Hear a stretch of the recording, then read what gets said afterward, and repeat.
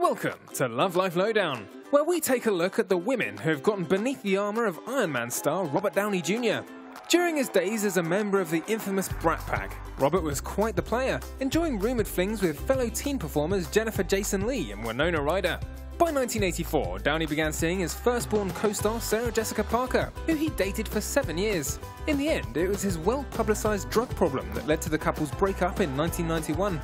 The following year, Downey Jr. started a relationship with actress-singer Deborah Falconer, who he married after a 42-day romance. In 1993, the couple had a son, Indio, but once again his drug issues proved too much. When he was arrested and sentenced to an extended stay in rehab in 2001, Deborah left Robert, taking their son with her. Later on, there are alleged romances with Marisa Tomei and Harrison Ford's now wife, Calista Flockhart. But in 2003, he began wooing film producer Susan Levin, who he met on the set of Gothika. Although she at first turned him down, twice, the acclaimed actor eventually won her over. He now says that Susan's strength helped him to break his addictive habits, and the pair tied the knot in 2005.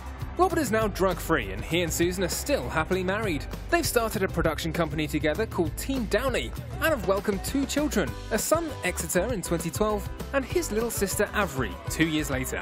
Looks like Robert Downey Jr.'s party days are finally over.